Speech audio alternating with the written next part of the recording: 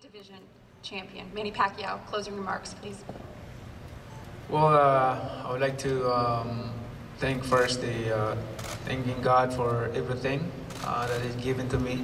I never imagined that uh, what I have done in boxing accomplished uh, beyond of my uh, imagination from the beginning of my career until now. Uh, amazing. Um, God raised me from nothing into something for a purpose, to be an inspiration inside and outside the ring. Uh, thank you so much to all your support, media, press, and all the boxing fans all over the world. I really appreciate uh, for supporting boxing, and uh, of course to my uh, team, um, Team Pacquiao, coaching staff, and to all of you. Thank you for uh, giving us a chance always, uh, and this opportunity come. Uh, I like to invite all the fans to watch this fight. It might be my last fight, or there's more. We can, one at a time.